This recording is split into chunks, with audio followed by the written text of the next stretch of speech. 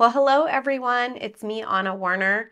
Um, I am excited to be on here with you um, this evening. I have something that I would like to share um, that I feel the Lord has showed me is a word for now. And it's a word, honestly, you, I don't know where you are in your walk with the Lord.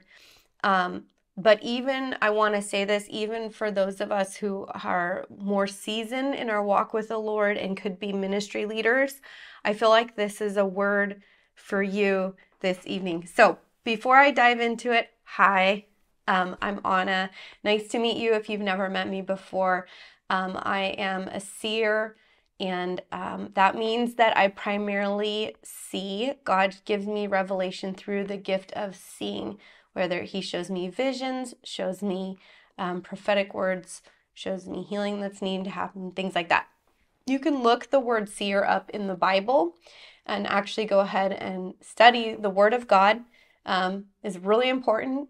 Um, study about Samuel, study, study about Gad the prophet, study about Elijah. Um, those are just some examples of seers. So that being said, I just I always have to say that because seers um, we have to be grounded in the Word of God, right? And out of the place of actual intimacy with the Lord, do we receive revelation. So sorry, my voice is kind of squeaky right now. I just got back from um, ministering like three different conferences. So I've been preaching a lot and my voice is kind of scratchy. So, okay, here's the thing I want to dive right in. Um, oh, I forgot to say, by the way, I'm I'm also a mom. I have a seven-year-old son and a nine-year-old daughter, and I'm a wife to my beautiful husband Sam. We're going to be married 13 years this year. Um, so, yay! So just so you know, like I also have full-on mom, wife, um, travel. I'm an author.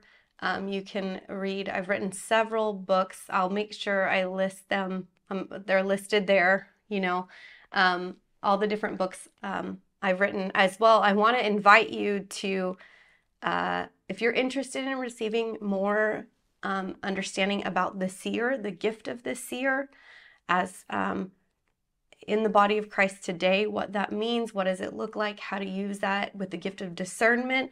I want to invite you. There's a mentorship that I'm doing online, and it is for the month of April. So it's still open. As of today, there's about 50 spots available. So I want to invite you to that. You can go to my website, anawerner.org, my name.org, and you can see that there. You can click on it and get more information. We go, um, well, you'll get all the information. I don't need to go over all that right now. There's teachings that I'll send you. There are new teachings this course and then you'll be there's live q&a sessions um, where i'm pouring into you guys as a class. And everyone that takes the mentorship we cover you guys in prayer as you're going through it. So i am really excited for this next new uh, class. It's online so that people join in from every nation. It's amazing. And also as soon as i do the lives i press record so that you can watch it later because I understand I'm a mom. I get it. Life happens, things come up. You may not be able to join that live class, but you'll forever have that course. So I want to invite you to that. It's beginning in April, so you have a short time left to join in. There's 50 spots left, I think, as of today. All right, so Father, I just thank you that you're releasing your presence through this right now. God, we love you, Father. It's our joy um, just to serve you, Lord. God, I pray that um, from glory to glory, God, we would grow in understanding your ways. In Jesus' name, amen. Amen. So, how many of you um, have felt recently like you've been hit with a level or a measure of fear? And this fear seems like, okay, I've dealt with fear before. Why is this coming back? Why is this full circle hitting me again right now? What is going on? I just want to say um, recently I was taken in a vision, and the Lord showed me in this vision, I saw all these different ministry leaders um, standing. Um, it was like the edge of a, uh, like a cliff kind of It was a grassy field, but there was a cliff, cliff edging, and there's all these different ministry leaders and people there gathered. And I saw in this vision these eagles swooping by, swooping by. And it was like the eagles were swooping by to take people to their destination, right?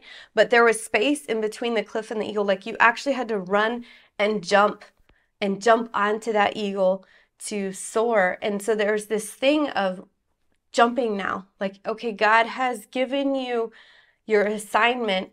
It's now time to run and and and fulfill that and and step out in faith towards that thing. But when I looked at the group, there was actual like blocks on people's feet. So there was something weighing them down. And I saw that it was fear. It was literal fear. And I'm speaking this to you because I, I believe that you're watching this for a reason tonight. And there are many seasons you've walked through in the past where you have stepped out in faith. There's you're you you know the word of God, you're grounded in it, you know how to hear from God, you know how to step out in faith when God says step out. But recently it's felt like what suddenly I'm hit with fear again. And I just I feel stuck. Stuck right now. Is that you? Can you relate to what I'm saying right now? Just put in the comments so I know I'm talking to somebody here. So, um,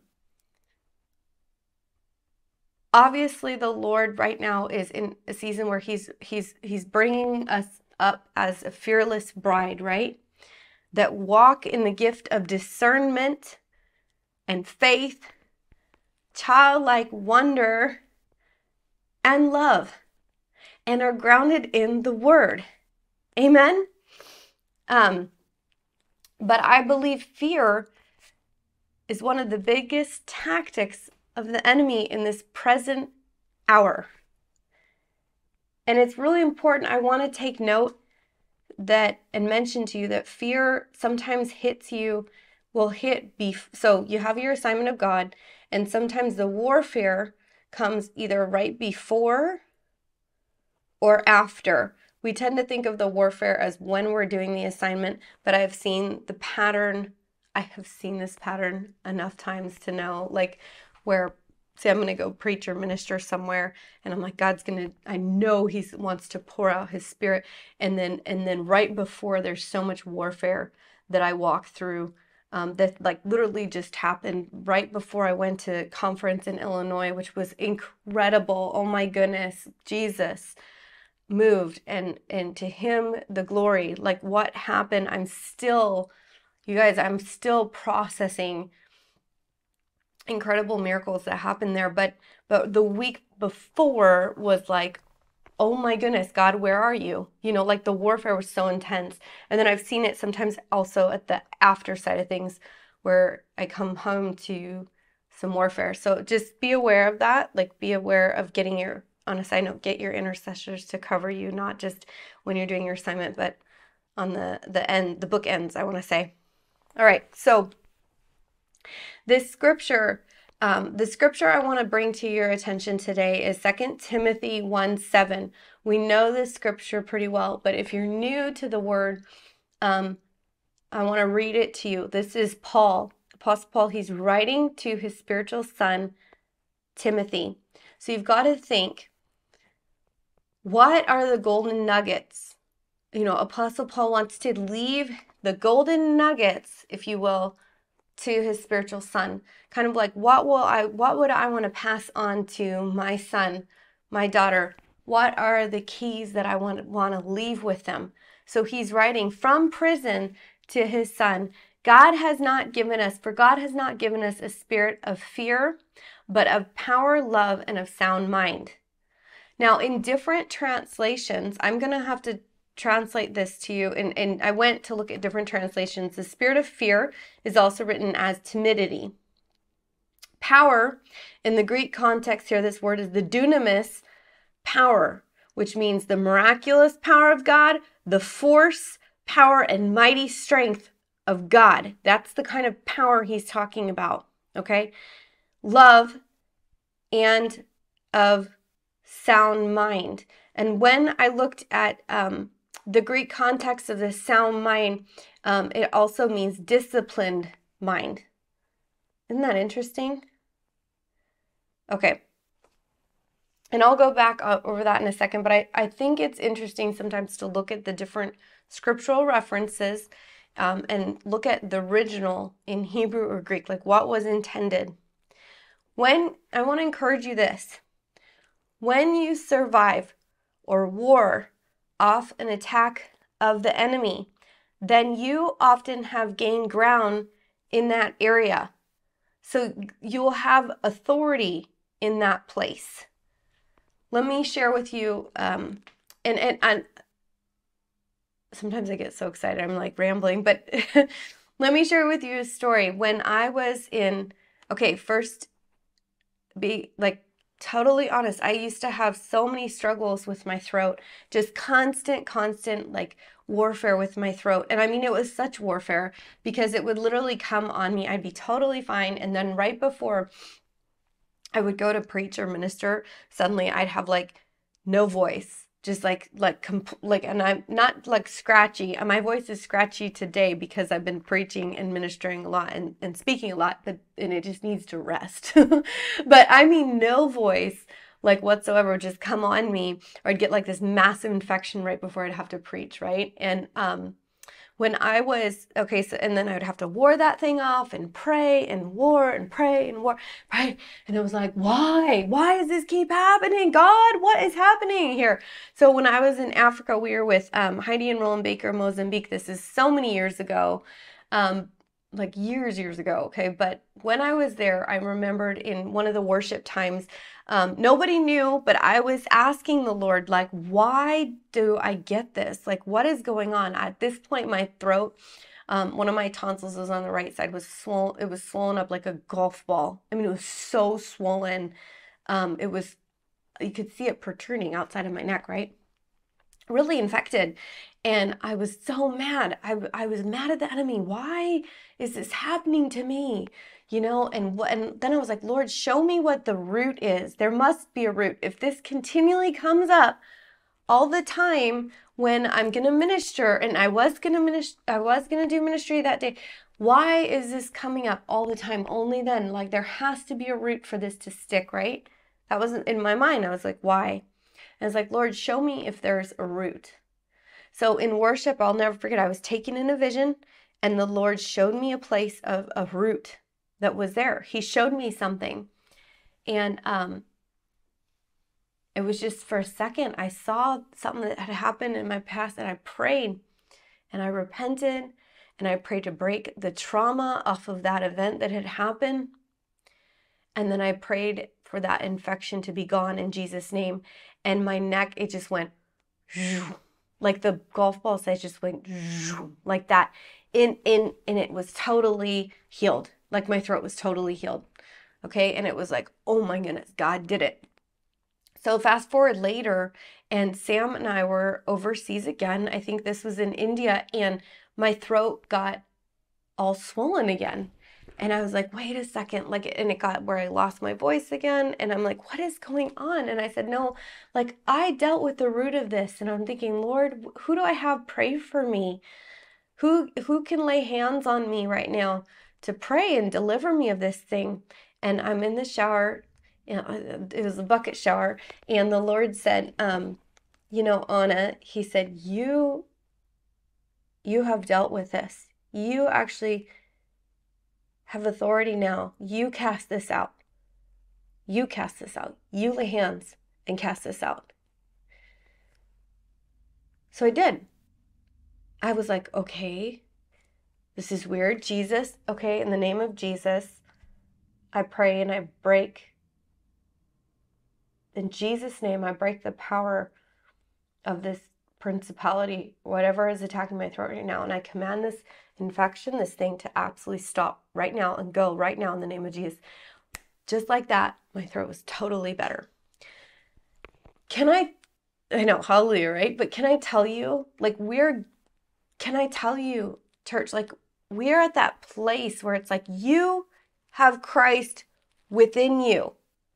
You have Christ within you. It's time for you to lay hands and take authority over that thing. Amen? You have Christ within you. Take authority over it. Take authority over whatever that principality is. Apply the blood of Christ and declare freedom and healing in the name of Jesus. Amen. I, I just feel this thing because fear, I know, has so gripped many of us recently, but it is time that we take authority over this thing and say, uh uh-uh, uh no, no, no, enough is enough. Amen. You are so powerful because you have Jesus within you. If anything, I felt like I have to just remind somebody that tonight. And it's hard when you're going through a season of totally warring, right? Because you're just like, I like war, not worrying, worrying.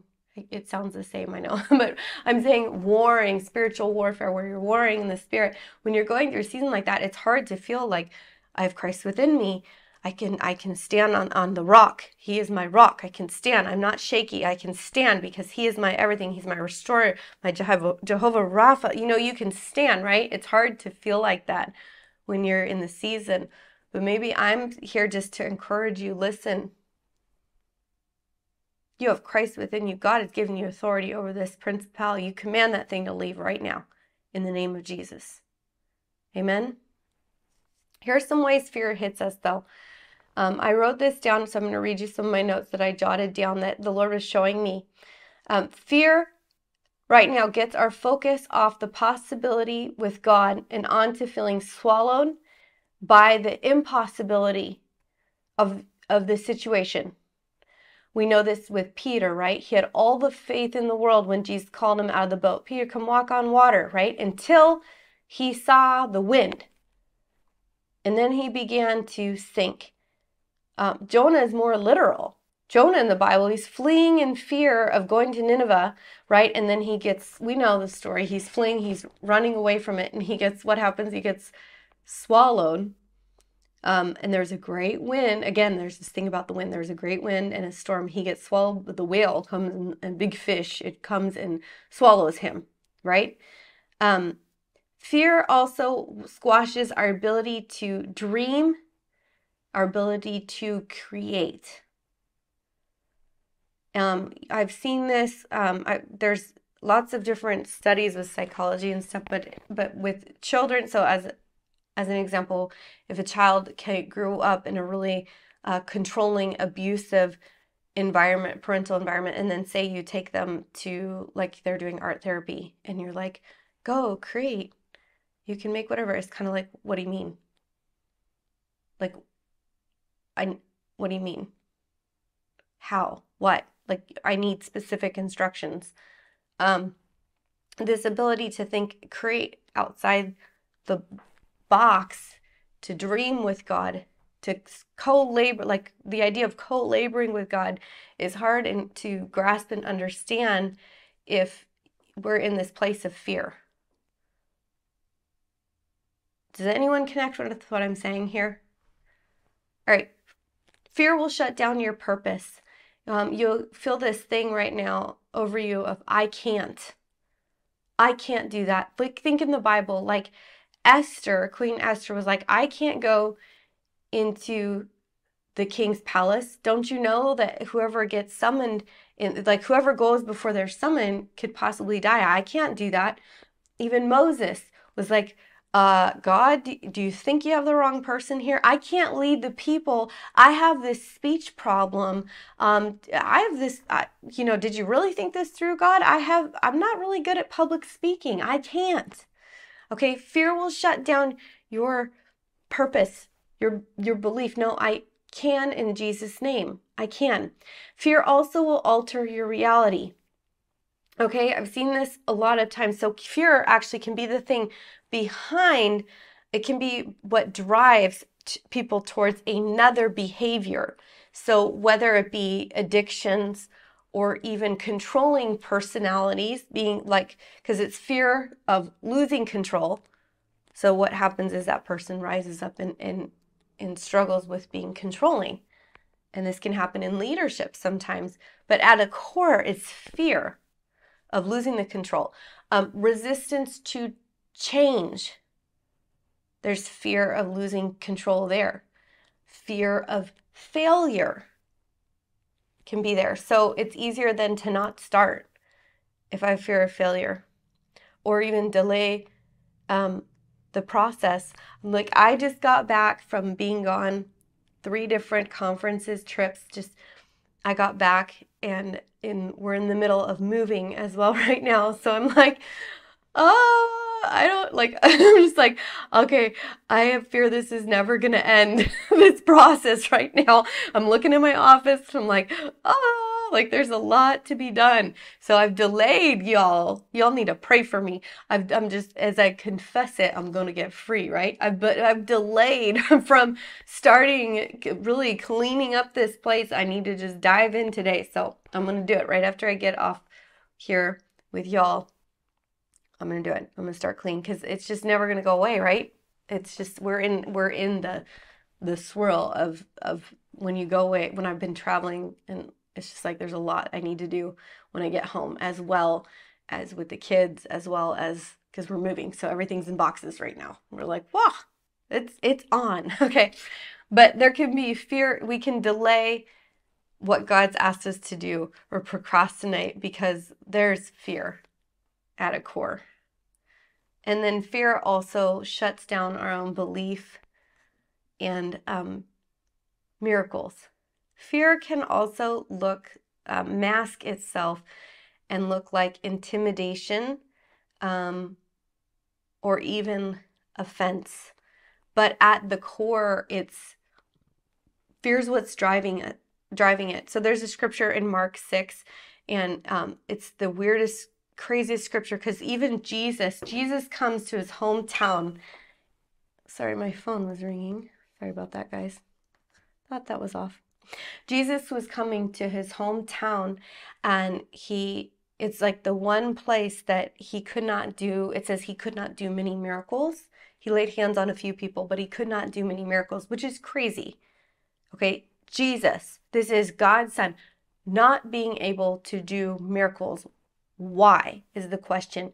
In the scripture, it says they said this Is not this the carpenter, the son of Mary and brother of James? Aren't his sisters with us? I, like isn't you know there like there was a fence that was there? Like we know this guy. Isn't this their son? Isn't that his sisters and his brothers? Who does he think he is? Like doing all these things. There's no belief here okay there was unbelief and offense and it shut down the miracles from flowing okay so sometimes fear also masks itself like this pride you know, I may not be the expert in this area, and maybe I will have to change some things or get schooling or learn because I'm not the expert anymore. I said it. Okay, it could be pride. All right, here's the good news. I have good news, I promise. Perfect love casts out fear. Perfect love casts out fear. So I am believing today for you watching this right now, someone you're watching this. I don't know why you're on here, but I know that God wants you to step out in faith. You know the assignment God has given you. But it's time now to not let fear be the thing that is holding you back. It's keeping you stuck. It's time now. And some of that is partially change. Things are shifting, right? So we have to shift with where God shifts. It doesn't mean you don't take wisdom with you. You take wisdom with you, but if God is saying, This is the direction that I'm asking you to go right now, well, the anointing will be where God is asking you to be, right? And in the timing that He's asking you to do it, that's where the anointing will be. That's where we need to be. Amen? All right, perfect love casts out fear, meaning as you're in come back, turn turn full circle and come in his presence. Get fill of his words. Get in your Bible daily. Read his Bible and then get with the Lord and just say, "Father, here I am. I need you to renew me today, God. Help me, Lord. And pray this with me. You have Christ. If you're listening to this and you're not a believer in Jesus, I just want to say this. Today might be the best day of your life.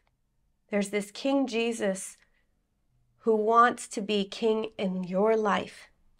He loves you. He loves you so much that he died on a cross for you so that you may have eternal life with God. And you can pray right now and just say, Jesus, Lord, I know I'm a sinner. I know I'm not perfect, God, and I need your good and perfect love. Would you come be God of my heart, King of my life right now? Come enter my heart and help me, Jesus. I dedicate my life to you right now. In Jesus' name. Amen. If you prayed that with me, please put in the comments, I just prayed that. Because guess what? Your name is now written in heaven, and you will have eternal life with God. There is no sugar coating this. There is either, it, there's either heaven or there's hell. Apart from Jesus, we are destined for hell because we are sinners, right? But when you've accepted Jesus into your life, you have the hope of eternal life with the King of Kings. Amen. And if you are already a believer, you have Jesus in you. Pray this with me if you've been hit with fear recently. Father, Lord, I repent right now for agreeing with fear. I have really been struggling with this. I don't know where I've suddenly believed in the voice of the enemy more than I've believed in your voice, God. But Lord, I repent for agreeing with the enemy. Father, Lord, I repent for it. Break my agreement with fear. And Jesus, today, Lord, I ask you just for faith. I need an impartation today of faith. I choose faith, but I need an impartation of faith now to step out and do what you've asked me to do. Faith and obedience, God. Help me to obey your voice. In Jesus' name, amen. Now, I want to pray something over you. I hope you repeated that with me. I want to pray something over you now also. All right. So, Father, in the name of Jesus, Lord, I break any uh, spirit of confusion that has come over you, come over the body of Christ right now. Lord, I bind that spirit of fear. I command that thing to come out now. Out, out, out in the name of Jesus. Your perfect love casts out fear. So, Father God, I thank you, Jesus, that you would release and impart, just release just a, a refreshed encounter today with your love. With your love. Thank you, Jesus, that now we choose to go forward, move forward, grounded in your word, grounded in your love, but not partnering with fear any longer. In Jesus' name, amen. Amen. Whew. I feel fire all over me. I don't know about you, um, but that was a shift. A shift. I, I can't wait to hear the testimonies. Make sure you send them to me, testimonies of what just happened for you. You felt something shift inside of you, how this week plays out for you now. I can't wait to hear back. Just as a reminder, the next Seer Mentorship School is happening in April. If you missed that, I mentioned it at the beginning of this. But the next uh, seer uh, mentorship that I do online course, it's a month long course that I pour into the students on the seer anointing, the gift of seeing, um, the gift of discernment of spirits, and walking in healing ministry. Um, that will be in the month of April. So if you're interested in that, make sure you check out my website, anawerner.org. And yeah, I look forward to seeing you be part of the school if you choose to be. Otherwise, I do want to mention also that I don't know if you know this, but every Wednesday at 7 o'clock in the morning and 7 o'clock in the evening, that's Eastern Standard Time. So I'm on, uh, personally, I'm central, where I live is Central Standard Time. So for me, that is 6 o'clock. But it's seven o'clock Eastern Standard Time. So you'll have to do the math of depending on where you are. But um, I have a television show I'd love to, and it's free. You can watch it on the Sid Roth app, which is the ISN It's Supernatural app. So ISN app on your phone, or you can also go to Sid's website, Sid Roth's website, and watch it live every Wednesday, which is really fun. And season two is coming out soon. I'm really excited. All right, guys, it's been a joy and an honor to just hang out with you this evening. And I pray that you are walking from, we walk from glory unto glory, that you daily are getting to know the Lord and look more like Him every day. In Jesus' name, take care, guys.